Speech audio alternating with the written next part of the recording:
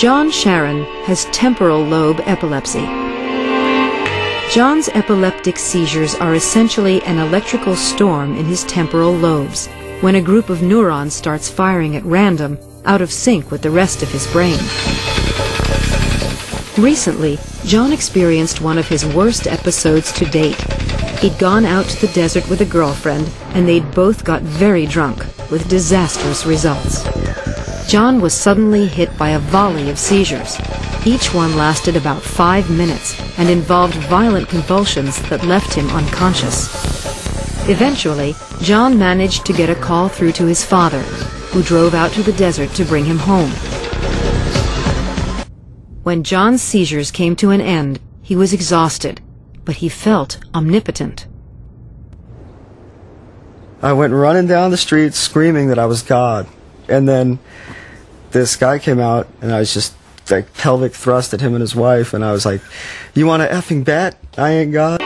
John had never been religious, yet the onset of his seizures triggered overwhelming spiritual feelings. I've been in so much pain that I'd rather be shot to death, dude, or just whipped to death. But Whipped also, to also death. joy. Yeah, I've been in so much joy that I would rather be left alone. man. Get, take, take everything away and just let me sit there and have that much joy. I feel like I can float and stuff sometimes, you know. Okay. It's just, it's like, it's like the best. Oh my god. And you know what? I am so right in my own head. I know I could go out there and get people to follow me.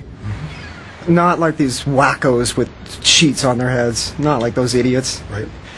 But now it's just the new generation of the prophets. Yep. And are, were all the prophets people that were flopping around on the ground? Is that what this whole message was? The gift from the gods this whole time? That's possible, isn't it? Yeah. I've never been religious ever. People say, no, you can't see into the future. Uh uh That's what that gift is, but you gotta pay for it by getting slammed around.